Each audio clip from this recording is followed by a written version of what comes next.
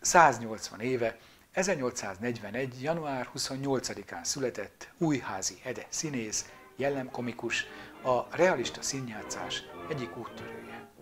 Szülei akarata ellenére 1864-ben, mint kardalos, beállt Szigeti Imre társulatába, ahol 1866 teléig játszott, majd Fehérvári Antalhoz szerződött.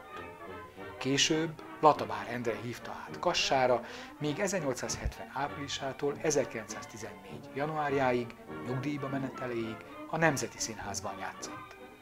Az ország szinte minden színházában szinte minden szerepkört kipróbált, még operetben és balettben is szerepelt. Páratlan volt színészi eszközismerete, mesterségbeli tudása kiapadhatatlan komikusi vénája a tragikus és komikus elemeket ötvöző vígjátékokban tette legsikeresebbé. A Kecskeméti Teátrum három napig tartó megnyitó ünnepség sorozatának első előadásán 1896. október 14-én is fellépett. Tiborc szerepében láthatta őt a nagy érdemű.